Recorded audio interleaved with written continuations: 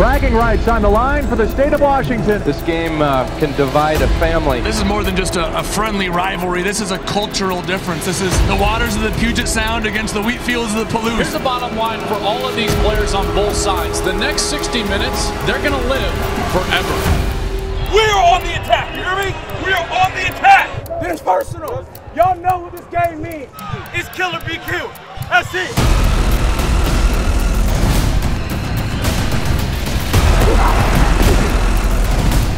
your and that's how we rock. Don't stop, don't get blocked.